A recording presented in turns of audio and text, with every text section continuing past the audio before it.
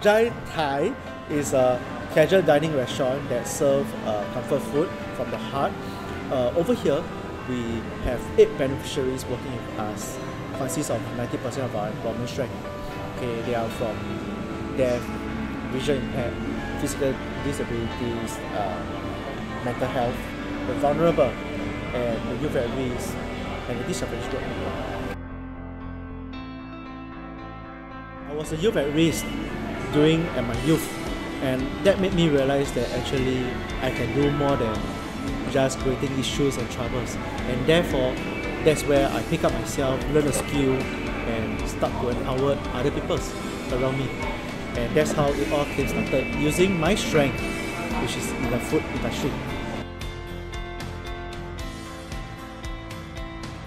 Um, the main thing is remembering each staff has a disability in their own way. So sometimes I try to call someone who is deaf and I cannot, and then sometimes I try to say, oh, uh, can you go to that table to someone who is blind? Then I was like, oh yeah, he cannot see, you know. So there's a lot of, um, I mean, I know each of them have disabilities, but I have to keep on reminding myself, like to, yeah, to cater to them, yeah.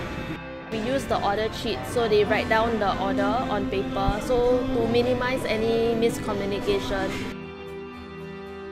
During the workshop, you get to be like a disabled.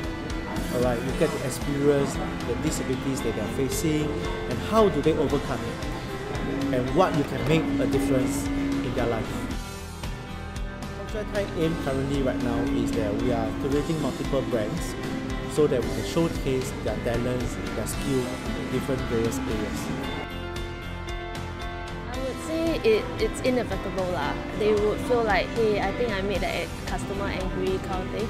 But then we'll always try to step in and intervene and resolve the situation. So at the end of the day, we still have to encourage them that it's okay to make mistakes, but then we learn from our mistakes and we move on from there. So you don't make the same mistakes the next day again lah.